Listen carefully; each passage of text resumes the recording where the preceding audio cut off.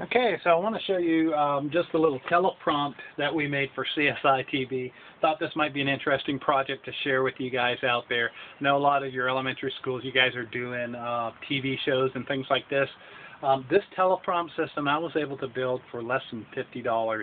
Uh, a lot of it out of some materials I just had around here at the house too. So um, our trouble is, you know, when we go to make announcements and we have to read from a script, if you've seen any of our promotional things in the past, we have often had to look to the side of the camera in order to read from a, a, a prompting script. So we want to be able to look right into the lens of the camera as we uh, work with our announcements and reading from a script. It just it's a nicer effect. That, you know, it feels like we're communicating directly with the people that are watching. Um, so we uh, we wanted to build this. So um, I was looking around online. These things can be up to fifteen hundred dollars to buy. Um, you know, anywhere from a thousand to fifteen hundred dollars. So thank goodness for things like YouTube and other places on the internet, you can pretty much figure out how to build this thing. It's really um, almost like smoke and mirrors in order to create uh, a video teleprompt. So the idea is that the camera is going to be able to mount right behind this teleprompt, which is this box that you see right here, and it's going to be able to look through the glass. Now, you may not realize it right now, but what you're looking at is simply a reflection of this laptop screen. And if you notice, you'll see that the text is backwards on this uh, than it is over here until I start running the prompt software.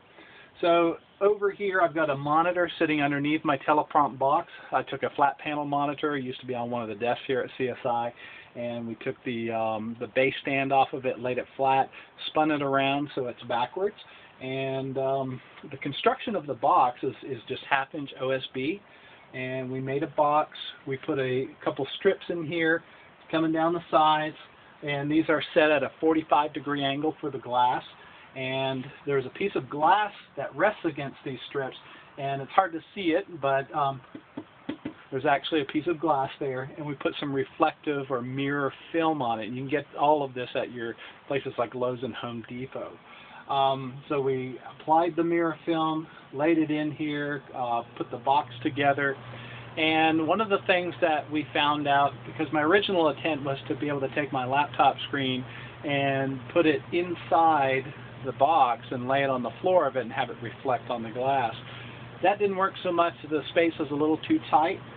This box is 12 by 16 and um, what works better is that we actually cut a hole in the bottom of this uh, teleprompt and you can see that hole if I tilt it up there so that I can lay it over top of the monitor and be able to um, have the all, most all of the viewable space of the monitor now come up and reflect on the glass.